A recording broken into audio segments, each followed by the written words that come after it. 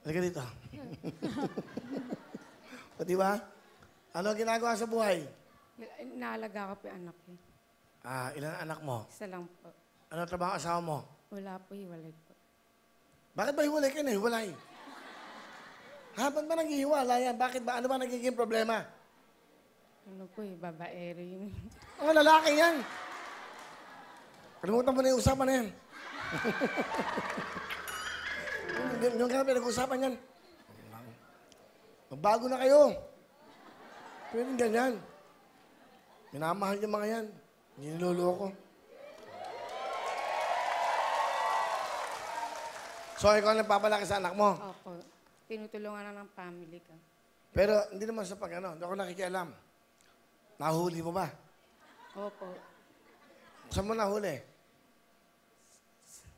Sa, sa work niya po. Sa work, ano? Ano ginagawa?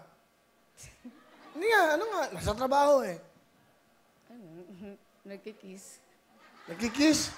Baka naman ano lang yun. nag- Ano, baka pagod lang. Ano mo, baka naman na baka nananaginip na yung asawa mo. Magkama, akala niya ikaw yun.